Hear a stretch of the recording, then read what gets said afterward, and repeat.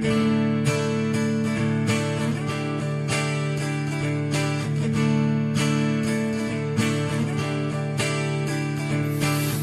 musim telah berlalu. Cukup banyak hari yang telah kita lalui. Tak ada sedikit pun jua Mampu mengusik rasa bosanku Saat kita tertawa berdua. Juga dikala kita menangis bersama.